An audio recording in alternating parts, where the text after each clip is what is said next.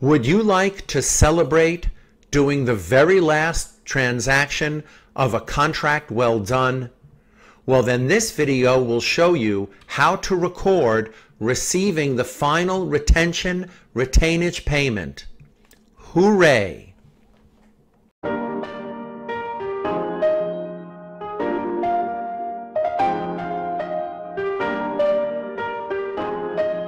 If you have any questions about this topic, you can leave them in the comments section below and I'll do my best to help you. And of course, if you feel the video helped you, I hope you will click like and don't forget to subscribe to get updates on new videos that come out all the time. There are two different ways to record receiving the final job retention or retainage payment. The first method is the most simple one, just use the deposit window.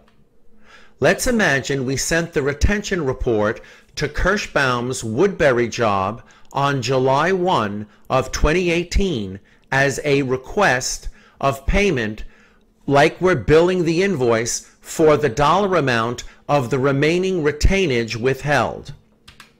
And let's say they gave us a direct deposit.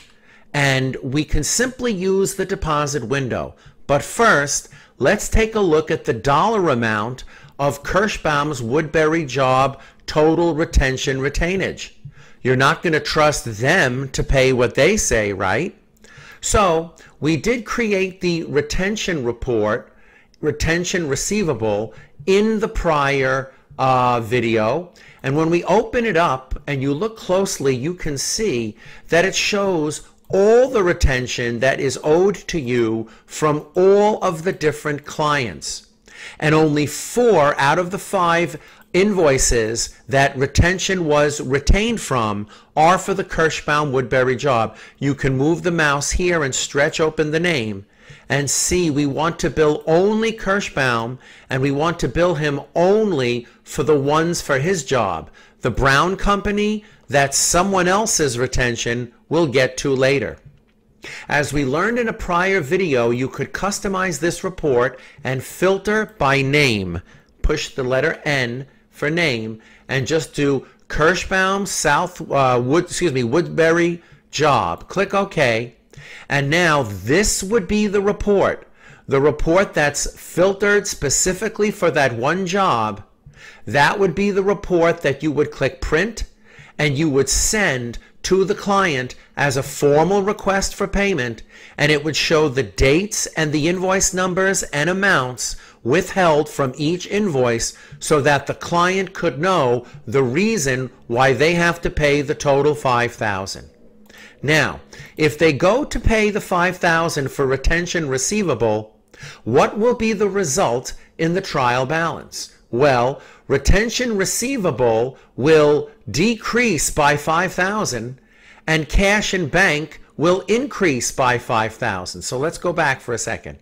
We had a direct deposit of 5,000. So cash in bank goes up by 5,000 and will become 9,700 but we no longer have Kirschbaum's Woodbury job retention receivable. So that would decrease by 5,000 and only the Brown Company's 625 receivable would be in that general ledger account that represents what we are owed. Let's take a look at how to record it. Very simple. We click Banking, Make Deposit. Now, all we have to do is choose the correct bank account the money is going into, the date, which I believe was July 1 of 2018. I hope. Okay. And we did receive from Kirschbaum the Woodbury job.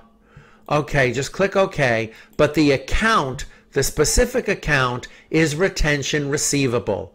That's really where the money is coming from because he owes us 5000 for all the accumulated retention. Now, when we click Save and Close, it does not show up on the retention receivable report that we just filtered, even though we chose the Kirschbaum Woodbury job. But if you open the trial balance, you can see the results are as exactly as what we expected.